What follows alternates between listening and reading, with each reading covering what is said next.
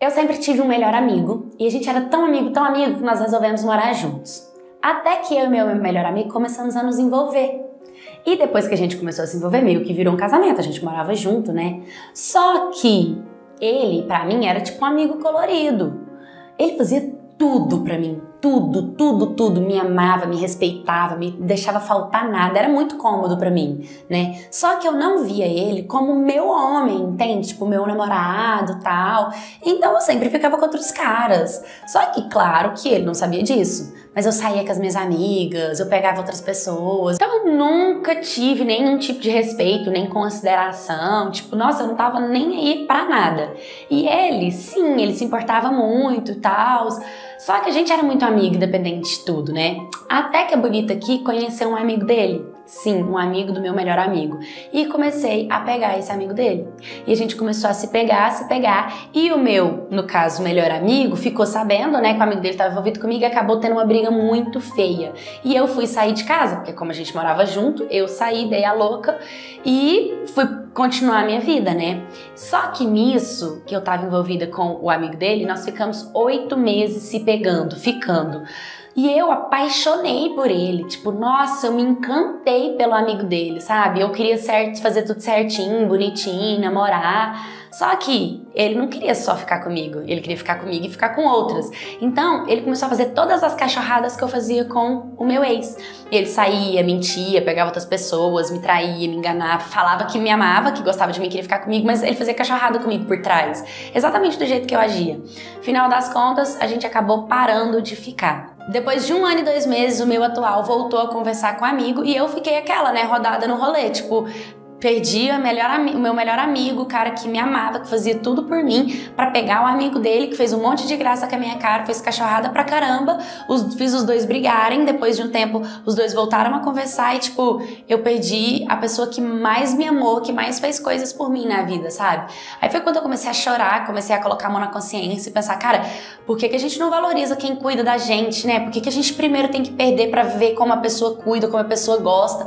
Tipo, e ele era um cara incrível, podia sim ter me entregado a ele do jeito que ele se entregou a mim, sabe?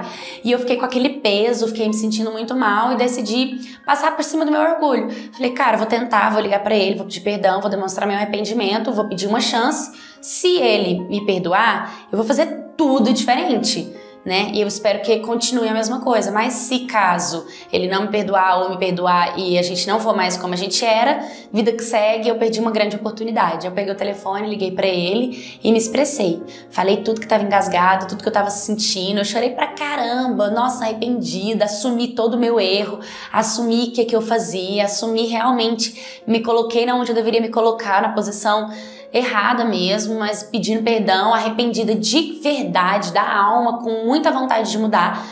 E ele simplesmente me aceitou. Ele simplesmente me disse ok, eu me recebeu de volta em casa e a gente voltou ao relacionamento.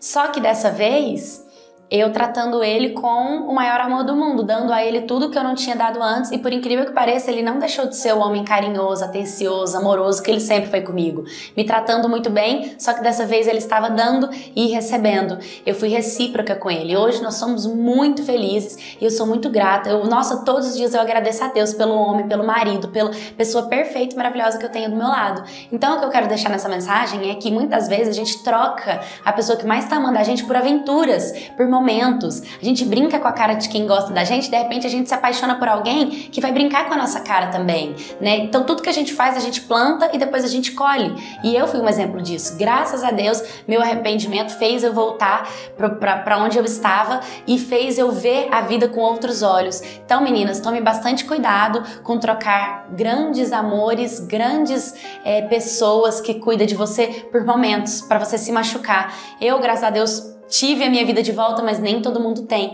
né? Nem todo mundo volta e encontra o que deixou. Oi, oi, Macettes, tudo bem com vocês? O motivo de eu ter escolhido essa história foi exatamente por isso, né? Quantas vezes a gente não pensa em estar tá numa zona de conforto, ah, a gente tá sendo amada, a gente tá sendo querida, parece que a gente não precisa medir esforços para a pessoa conquistar a gente, aí a gente quer viver outros amores, novas aventuras e acaba perdendo uma pessoa que tá fazendo tudo pela gente. Então, um exemplo dessa história é muito legal pra gente tomar cuidado com essas trocas, né? Sempre colocar na balança o que realmente vale a pena, o que o outro faz pela gente, nem todo mundo faz. Essas questões é importante antes da gente tomar a decisão de viver grandes aventuras por aí, né? Coisas incertas, trocar uma certeza por uma incerteza.